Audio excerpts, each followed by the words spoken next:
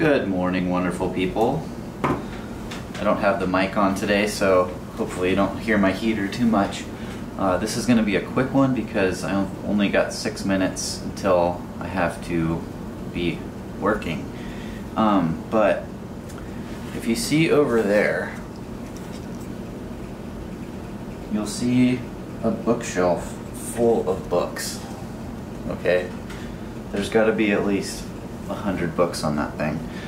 And I only paid full price for maybe 20 of those books. The rest came from Goodwill. Uh, most of them cost about a dollar, but every once in a while at thrift stores, you'll get like 10 for a dollar or, you know, two for a dollar or something like that.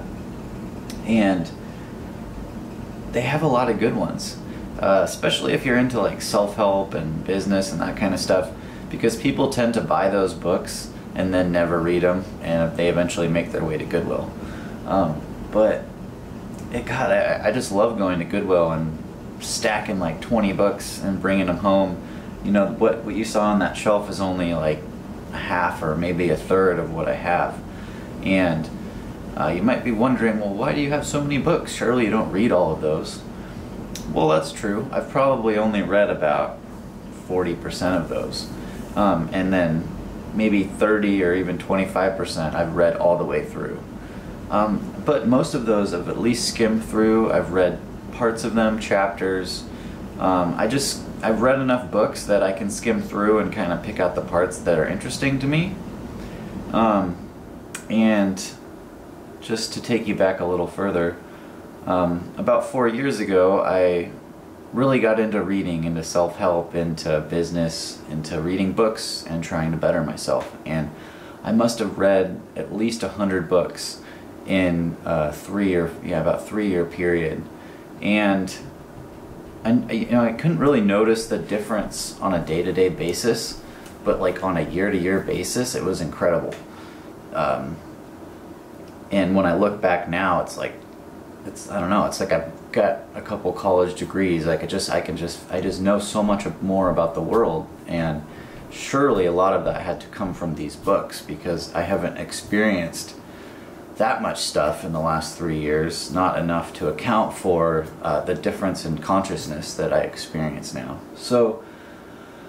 I highly recommend hitting up your local Goodwill or your thrift shop and buying a bunch of books. Get a bookshelf, stack them up high, even if you don't feel like reading right now. If you're really into Netflix or your new PS5 and you don't have time for books, that's fine. Just stack them up because, you know, on those rainy days when you're just got nothing to do and you lay down on the couch and you grab a book, you never know what where that'll lead. And you who knows, you might end up getting on a roll and rolling right through that bookshelf. And I promise you, by the time you get through 10, 15 books, you're going to be like a completely different person. It's incredible. Uh, you can't get the same thing out of TV or YouTube or anything like that. Reading a book, it's like you you you absorb the words and it creates this world in your mind and your mind is capable of creating images that aren't just something visually that you see or that you hear but it's like in your nervous system. You can feel it in your bones and your emotions, and you can't get that any other way. Also, when you're reading something that somebody wrote, that's almost like they're they're writing out what they think, their thoughts on things, and you really just can't get that anywhere else. So it's 6:30. Gotta go. Uh, be grateful that you can buy books at Goodwill for a dollar. Um, try to do something nice for somebody today, and I'll see you on the next one.